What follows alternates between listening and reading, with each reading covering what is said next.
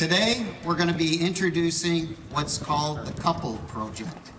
It's C-U-P-P-E-L.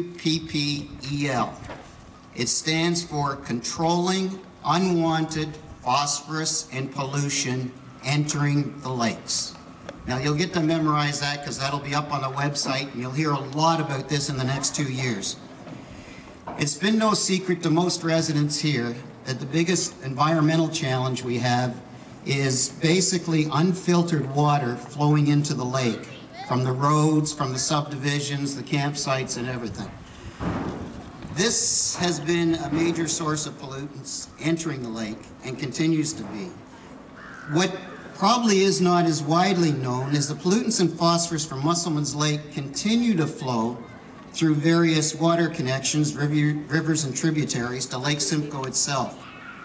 Everything we do at Musselman's Lake impacts a much bigger area than, quite frankly, even I realized. The problem up until now has been conventional filtration systems are just too expensive to install.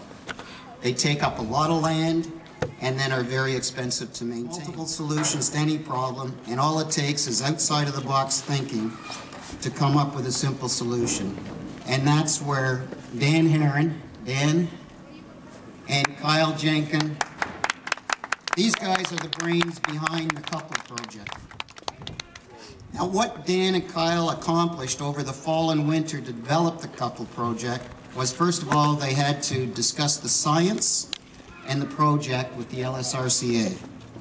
They had to create a plan, they had to develop executional details, they had to establish timelines and measurables, they had to apply for funding from business and government.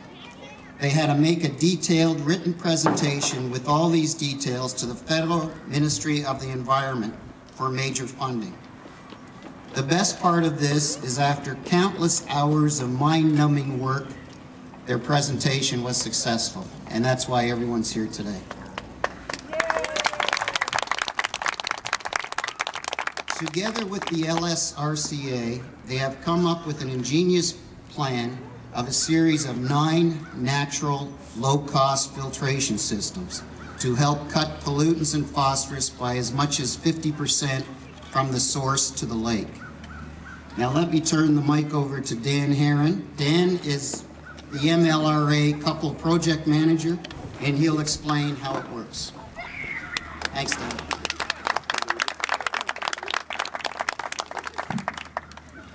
Thanks, Rick. So the, yeah, as Rick said, this started about six months ago, and one of the things I've lived in here for about nine years, and we've talked a lot about cleaning up the lake, and we have the annual cleanup where we get a lot of the garbage out, but every day when it rains, the water, the pollutants, all run down into lake unfiltered, and that's causing one of the biggest issues like the weeds and, and the high phosphate levels in the water. And so as a result, something needs to be done about that. So six months ago, Kyle and I were talking about what are we going to do, and we came up with this idea, from really simple, from a little newspaper article uh, saying that there is some funding out there to clean up the lakes, and so that started us off. Uh, we started doing our research. We started looking around the lake, all different ways to do it. Talking with Lake Simcoe Region Conservation Authority, they were great help with that. And uh, we've also met some of the people from Ministry of Natural Resources. They've also helped us. And basically we came up with this idea and now it's actually happening. And it's pretty amazing to see the community that we have here and how passionate people were when we were walking around the lake um, when we started introducing why we were there and, and how enthusiastic people are and what how passionate they are about the lake and how they want to keep it um, continuing the way it is. And it's great now to see this happening.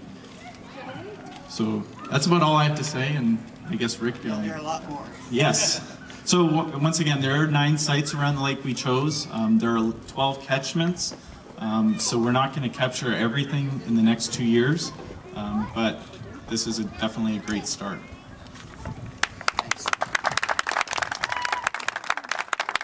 Now to the man who needs no introduction, Mr. Kyle Jenkin of Cedar Beach. Before I turn over the microphone, I just want to say how grateful we are for such a progressive management owner team. Whenever we need a place to meet, to hold a fundraising dance, the annual Winter Carnival, a place to hold the Earth Day, always no problem and always no charge.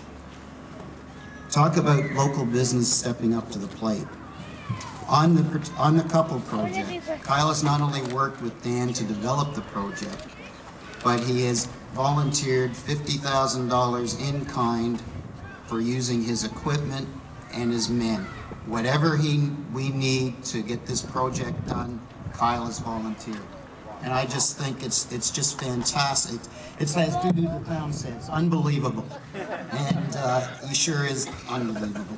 But what this project is going to prove is that we can have two levels of government, a local business, active residents group, come together in a spirit of cooperation. We first of all can conceive and develop a major environmental project.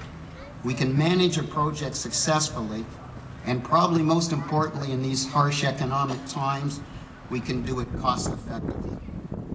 Now Kyle's going to step up here and explain how you, the residents, fit into this plan. Thanks. Okay, the key to this project is community.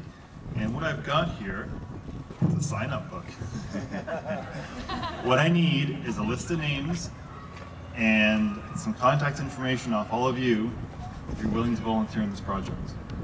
If it can be volunteer in any scope, help out with the permit process, help out, help out drawing the diagrams we have to draw, help out planting the plants, help out doing the, uh, the excavation.